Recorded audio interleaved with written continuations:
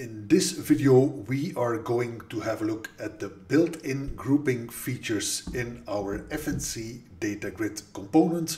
We are going to show you how you can do single and multi-column grouping, how you can also perform subgrouping and custom grouping, and also how you can sort within groups and also perform calculations on groups itself. Let's dive in our Delphi IDE and I'll show you in detail.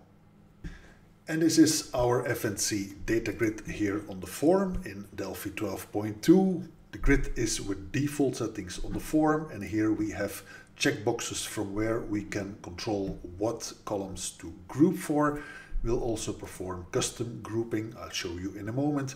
And from here we will enable the calculations or not. The grid itself is initialized by loading data from a CSV file, and that is happening here.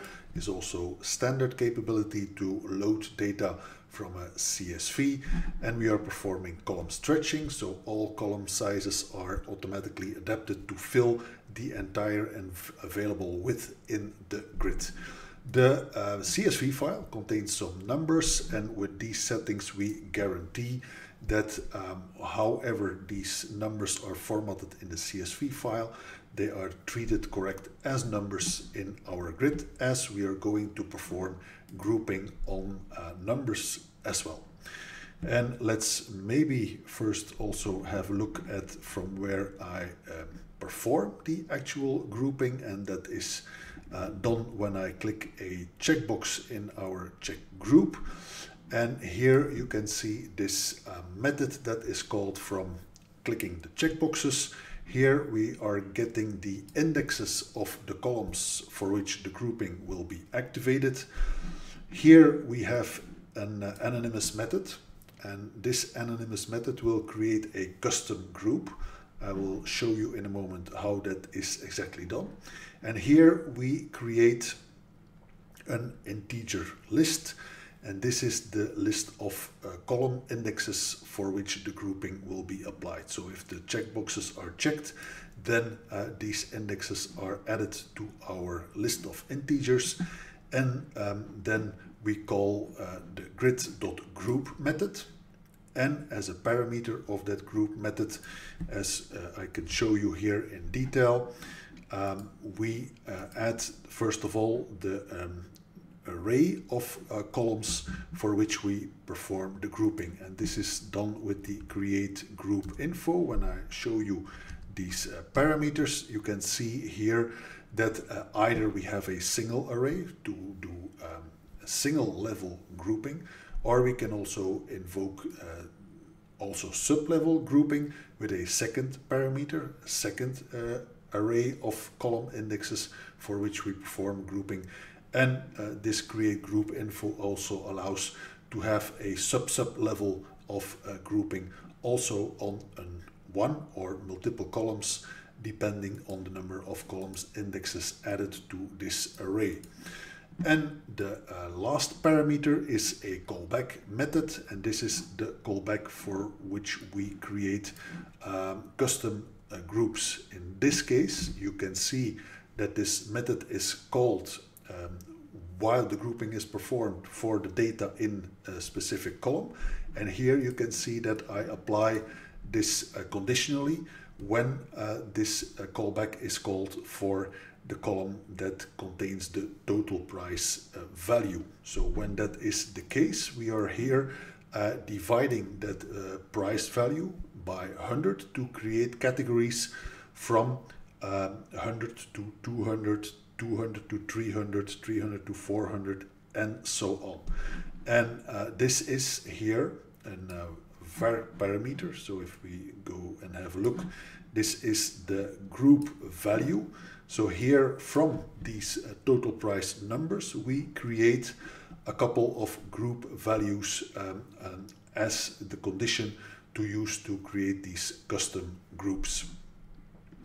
Let's maybe run this application and see how uh, this works all together. This is my application and uh, let's start by the basics. When I click the region uh, checkbox, you can see that now the grid is grouped on region. I can add an additional uh, group by uh, clicking here the category button and so on. So uh, this is how you can perform the grouping. When I click now region, you can see that the region is shown for the group in the header.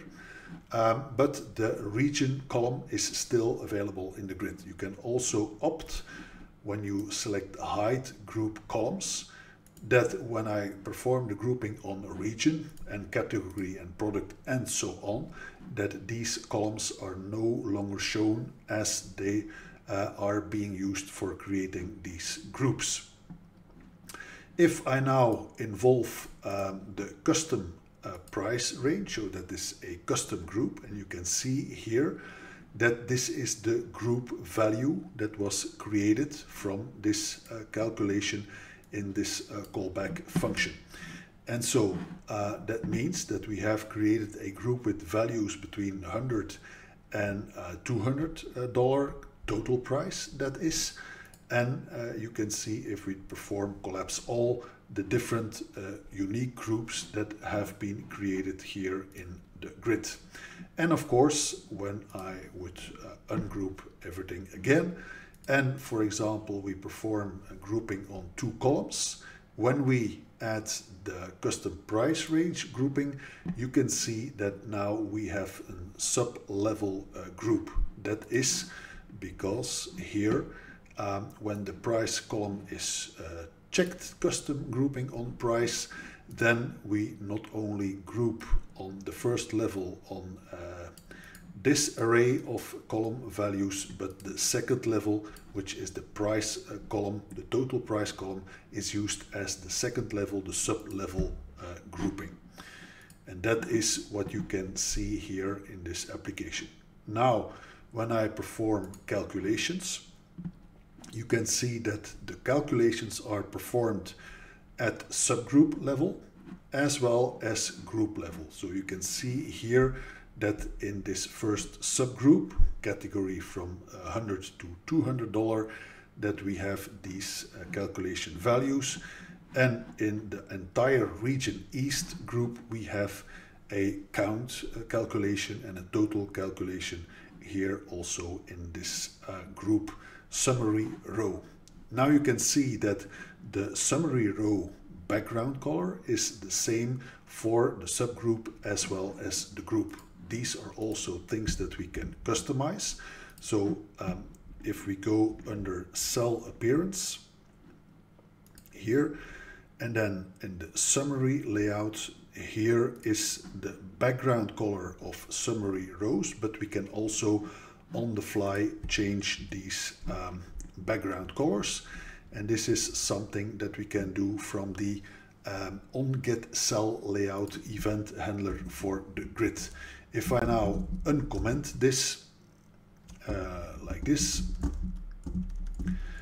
then we can see the effect of specifying a specific cell layout for the uh, summary rows of our subgroup.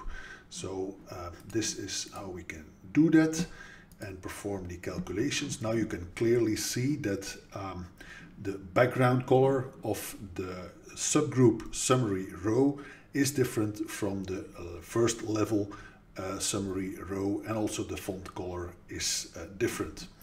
If we are going to have a look at how the calculations are added, and that is actually happening here. So this is what is happening when I click the uh, button to add the calculations. Uh, here you can see that uh, first of all I pick the column where I want to add a, a calculation and then I can use the column calculations property to specify for that column with a calculation name. Each uh, calculation you can give a unique name and uh, that means that you can also add multiple calculations for a specific column. Here in this case you can see that it is an array the uh, calculations that you can add but this array contains one value so it's one calculation for this specific column and this is uh, created with the create group column calculation uh, object that is created. And here we perform the count uh, calculations. And here we have a callback method. The callback method here in this case is used to control the formatting of the values for our calculation. You can see when we are in the main group level, level is zero in that case, that we have this specific formatting of our calculated value. And when we are at subgroup level, uh, then we use a different uh, way to format the value. And we do the same for the total price column, where you can see that here we add column calculations in the, exactly the same way with an array of this calculation object that is uh, added for this total price column. And also here we have two different um, formatting ways depending on the level of our grouping. And if we uh, repeat that again, and here we add the custom price range and finally also the grouping. This is exactly what you can see here in our uh, grid in the summary rows for subgroup and for the groups. And maybe let's uh, collapse all the rows. Now you see all the different main level group calculation values in the summary rows and when I expand you can see the uh, calculations for the subgroups. But Maybe let's now expand all. I have enabled uh, sorting in the grid and now if I perform uh, sorting by clicking on the uh, column header you can see that the sorting is actually happening at the level of groups. So the sorting is contained within the number of rows within a group. And that is uh, our summary for the built-in grouping capabilities. Powerful customizing that is also uh, available for you. All that in the FNC Data Grid. You can download the fully functional trial version and use our data grid in VCL Windows applications, but also FireMonkey cross-platform applications for Windows, macOS, Linux, Android, iOS, and finally, also for WebCore web applications, uh, all of these capabilities are uh, available for you with the FNC Data Grid. Download the trial version, explore these grouping options, and don't forget, for more information on the data grid and other components we have, subscribe here under this video to be notified when we have our next video ready for you.